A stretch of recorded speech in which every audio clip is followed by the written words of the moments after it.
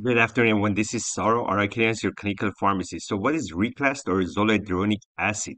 Reclast is from Novartis Pharmaceuticals, FDA approved in 2007.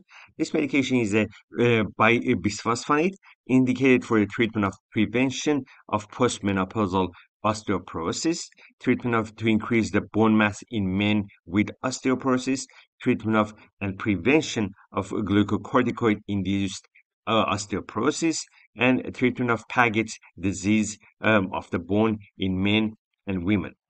Uh, as I mentioned, it's a bisphosphonate and acts primarily on the bones. It is an inhibitor of the osteoclast mediated uh, bone resorption. Uh, the selective um, action of the bisphosphonates on bones is based on their high affinity for mineralized bones. Uh, intravenously administered uh, zoledronic acid rapidly uh, partitions uh, to bones and localizes prefer preferentially at sites of higher uh, bone turnover. It comes in 5 milligram in 100 ml uh, ready to infuse solution. prevention of for prevention of postmenopausal osteoporosis, the dose is 5 milligram once every two years.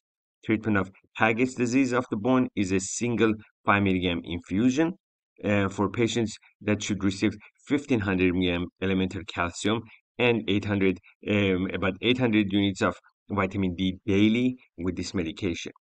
Uh, some of the common side effects seen from Reclast include um, eye inflammations, nausea, and vomiting. Again, this is a summary information about uh, Reclast or zoledronic acid from Novartis Pharmaceuticals. Uh, for more detailed information on this drug, refer back to the package insert uh, available online from Novartis Pharmaceuticals website. Um, I hope you enjoyed this video. As always, stay safe and take your medications.